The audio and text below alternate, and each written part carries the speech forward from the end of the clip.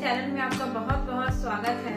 जैसा कि आप जानते हैं कि अभी मैं इंडिया में हूँ। मैं काफ़ी मज़े कर रही हूँ। आने वाले दो तीन दिनों में यहाँ पर सरस्वती पूजा होने वाला है, जिसे कुछ स्टेट्स में, कुछ राज्यों में इसे बसंत पंचमी कहा जाता है।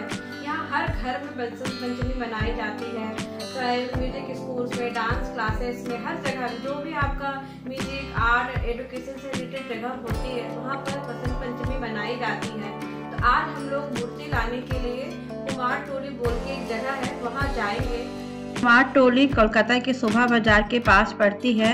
यहाँ हर फेस्टिवल्स के लिए आपको मूर्तियाँ मिलती है, हर बजट की, हर साइज़ की मिलती है और यहाँ से विदेशों में भी मूर्तियाँ भेजी जाती है।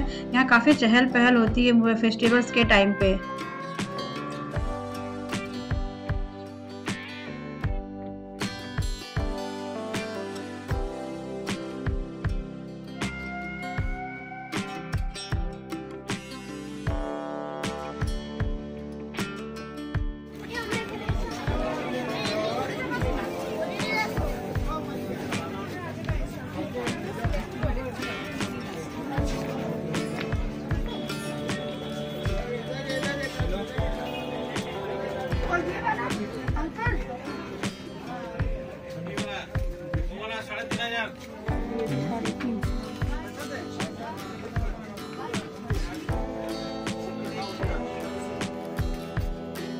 ये सब जो आप देख रहे हैं सब थर्मोकोल्स का बना हुआ है। ये पंडाल वगैरह या मूर्ति को डेकोरेट करने के लिए होता है। जैसा आपको पसंद है, आप अपने बजट के हिसाब से यहाँ पर चूज़ कर सकते हैं। बहुत सारे थीम के हिसाब से भी आप ले सकते हैं। जैसे आपका पंडाल का थीम है या स्कूल्स वगैरह में थीम है, आप उसके हिसाब से चूज़ कर सकते हैं। आप जैसे मूर्ति डेकोरेट करना चाहते हैं उसके हिसाब से आपको सामान मिलता है। आपका जो भी बजट हो जो भी जैसा आप पसंद करते हो प्रतिमा को सजाने के लिए आप यहाँ पर हर तरह के मुकुट्स मिलता है पास के ढाक्स मिलते हैं। जैसा आप सजाना चाहो आप खरीद के अपनी प्रतिमा को सजा सकते हो।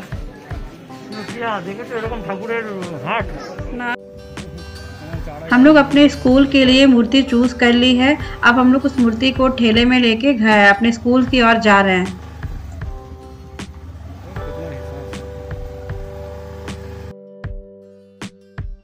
आज है सरस्वती पूजा का दिन। हम लोगों ने दो दिन पहले इस प्रतिमा को चूज़ करके लाए थे अपने स्कूल के लिए। आज सभी ने मिलकर काफ़ी अच्छा डेकोरेशन किया है।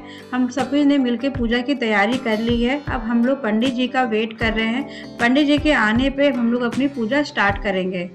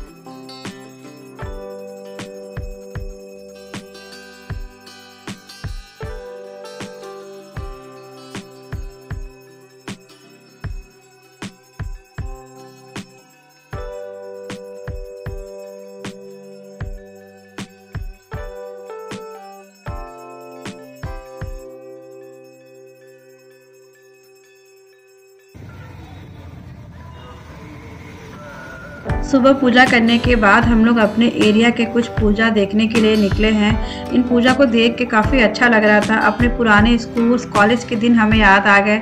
हम लोग कैसे अपने कॉलेज के टाइम पे घूमते थे, कैसे पूजा एंजॉय करते थे।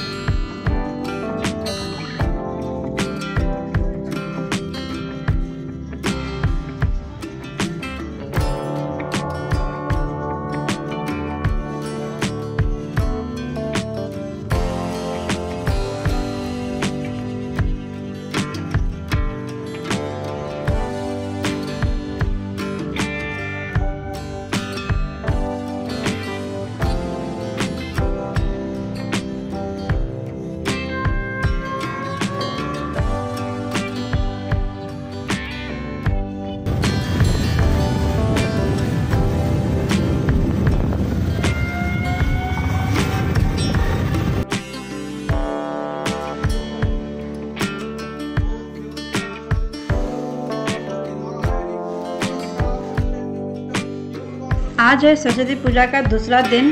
आज इसे दूधी कौरमा कहा जाता है। दूधी कौरमा का मतलब होता है दही, चूड़ा, फ्रूट्स, मिठाई को सबको मिक्स करके माँ सरस्वती के लिए प्रसाद बनाया जाता है। बहुत सारे लोग आज के दिन मूर्ति के विसर्जन भी कर देते हैं। कुछ लोग अपनी मूर्ति रखते हैं, जिसकी जैसी होती है वो अपने हिसाब से मूर्ति का विसर्जन करते हैं।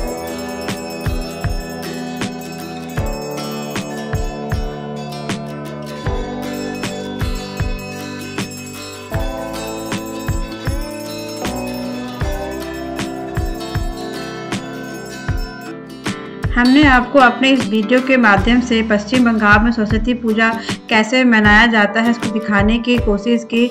आई होप आपको भी देखने में अच्छा लगा हो। फिर आपसे मिलते हैं नेक्स्ट वीडियो पे। तब तक के लिए बाय टेक केयर